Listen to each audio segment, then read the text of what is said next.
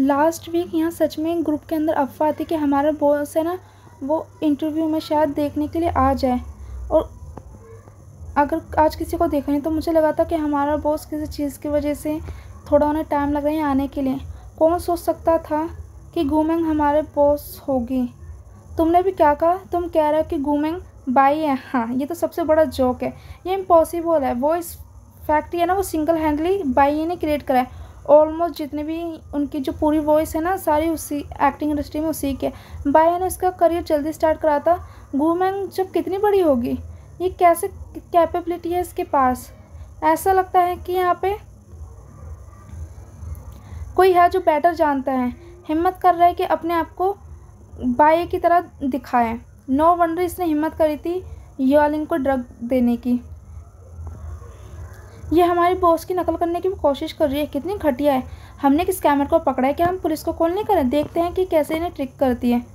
यहाँ पे काम पे क्यों इतना भगेड़ा खड़ा कर रहे हो? ये भीड़ किस चीज़ के लिए ये लड़की है ना, वो कह रही है कि वो गोड बाय यू है और ये भी कह रही है हमारी कंपनी की बॉस है। लकली हमने उसे देख लिया। हमने उसे सबक सिखा रहे क्या हम पुलिस को बुलाएँ उसे अरेस्ट करवाएँ? तुम्हें कल आने की ज़रूरत नहीं है। क्या? बॉस मुझे माफ़ कर दो। ये मेरी गलती है। इसे ढंग से मैनेज ना करने की मेरे लोगों को और मैंने तुम्हें गलत समझने दिया। मुझे इस आप सबको फॉर्मल इंट्रोड्यूस करवाने दो। गू मैंग, ये फाउंडर है, वो इस फैक्ट्री की, मेरी बॉस क्या? शानो एक्चुअली यहाँ खुद आए इसे वेरीफाई करने के लिए। गू मैंग क्या सच में एक फाउंडर है? ये जो स्टूडेंट है ना, ये जो यूज़ कर रही है कि वो हमारे बॉस को फ्रेम कर रही हैं और उस पर सारे इल्ज़ाम लगा रहे तुम सच में कुछ हो बट ये तुम ही थी जिसने मुझे ड्रग करा। तुमने कहा कि मैंने तुम्हें फंसाया है। तुम्हारा एविडेंस कहाँ है? और जो ड्रग है ना वो तुम्हारे ऑफ़िस में ढूंढा गया था। वेल well, अपने शब्दों को ना वेस्ट नहीं करते हैं। पुलिस स्टेशन के लिए बचा के रखो। ऑल राइट right, देखते हैं कि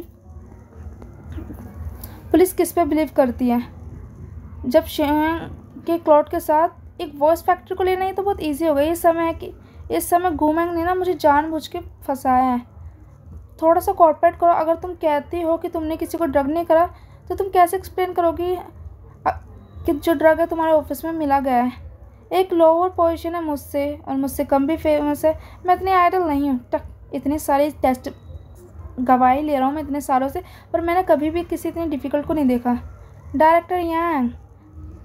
मैं शिन आप यहाँ हैं। ओ प्लीज़ एक अच्छी जगह ढूंढिए बैठने के लिए। आपका कज़न कैसे है? प्रेसिडेंट ही, अच्छे कर अच्छा चल रहा है ना उनके साथ सब कुछ? वो अच्छा कर रहा है। आपका डॉक्टर किंग यिंग की केयर का शुक्रिया। आज का मैटर है ना, ये सिर्फ़ यह है कि बॉस है ना वॉइस एक्टिंग कंपनी का हिम्मत करें मुझसे पंगे लेने की। तुम देखो, चिंता मत करो, मैं डेफिनेटली इसे अच्छे से इन्वेस्टिगेट करूँगा। तुम्हारे ऑफ़िस में मिला है बट ये कह रही है कि इसके पास कोई मोटिव नहीं है करने का और ये कुछ भी प्रूव नहीं करता। हाँ जो ड्रग है ना, इसके ऑफ़िस में मिला है। और कौन कर सकता है? इसके अलावा मुझे याद है कि पुलिस कह रही थी कि यही एविडेंस के बारे में सिंस ये कन्फेस नहीं कर रही, हम इसे अड़तालीस घंटों के लिए ना कैद में रखेंगे, जब तक चीज़ें क्लिफाई नहीं हो जाती। कमांडर रैंक, तुम सच में कुछ हो? यंग मास्टर यूँ, आप यहाँ, आप भी यहाँ क्यों आए? मैं ना गोमैन के साथ पूरे समय था ऑफ़िस में, और उसने कुछ भी नहीं करा। किसी को ड्रग नहीं करा। क्या ये विटनेस विटनेस की गवाही देना, ये भी एविडेंस नहीं होता? तो इसे अड़तालीस घंटे के लिए अभी क्यों कैद कर रहे हो?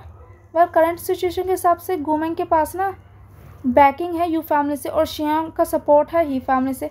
किसी को भी अफेंड नहीं कर सकता तो हम इसे हैंडल कैसे करें? यंग मास्टर यू हम सिर्फ़ फेयर इन्वेस्टिगेशन कर रहे हैं। फेयर इन्वेस्टिगेशन सिंस ये दोनों ही सस्पेक्ट हैं।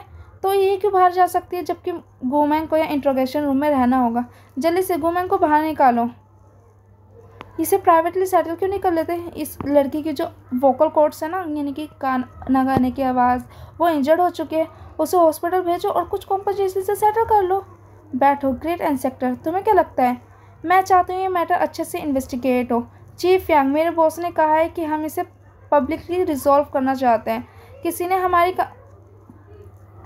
किसी ने हम, किसी को हार्म करने की कोशिश करी, वो भी मेरी डियर कंपनी हमारे डियर कंपनी में, और इसे भी फंसा रहा है। तो मैं अच्छे से हैंडल करना होगा। क्या तुम्हारे पास कोई एविडेंस है कहने का कि मैंने किसी को फ्रेम करा है? इसकी वजह से मैंने सिर्फ़, क्योंकि मैंने इसका सिग्नेचर मारा था, सिर्फ़ इसके वजह से तुम मुझ पर झूठा इंसाम लगा रहे हो। वो बोतल है ना, बाया के ऑफ़िस में मिली गई थी।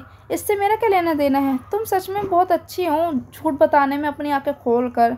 एन भी इससे मेरा कुछ लेना देना नहीं है, मैं थक चुकी हूँ और मैं वापस जाना चाहती हूँ। ओ तेरी की घूमेंगे बहुत गुस्से में मैंने तो अभी अपना एविडेंस यूज़ भी नहीं करा।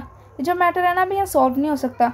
तुम का, क्या सोच रहे हो कहाँ जाने की? हाँ हेलो एवरीवन ये वाला ट्रांसलेशन था। वो आप सबको पसंद आया होगा। प्लीज़ चैनल को सब्सक्राइब करें। वीडियो को लाइक करें प्यार प्यार कमेंट करें ना भूलना। Thank you